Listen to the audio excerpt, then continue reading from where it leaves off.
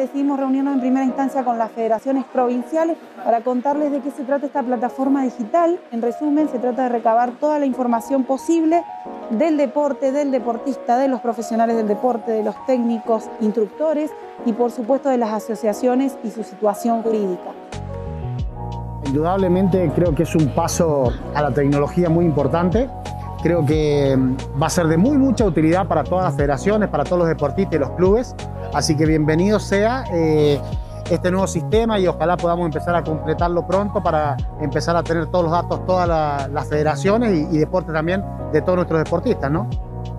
La verdad sorprendente, muy buen trabajo, me encantó. Yo creo que va a ser un sistema que realmente va a normalizar y nos va a poner a todas las federaciones en el, en el mismo nivel.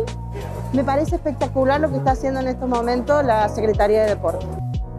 Es muy interesante que a través de un software del Estado podamos tener acceso los clubes y las federaciones a un ordenamiento que nos permitan llegar eh, con mejores datos a la información cuando nosotros mismos preparamos actividades y el Estado quiere ayudarnos era lo que estábamos esperando desde las federaciones. Eh, a nosotros nos viene fantástico de la Federación de Natación. Era bastante difícil juntarnos con toda la información de todos los clubes asociados, desde los que hacen actividad amateur a los que tienen natación competitiva. En este caso, tener todo centralizado en un sistema que nos permita obtener informes y demás, espectacular.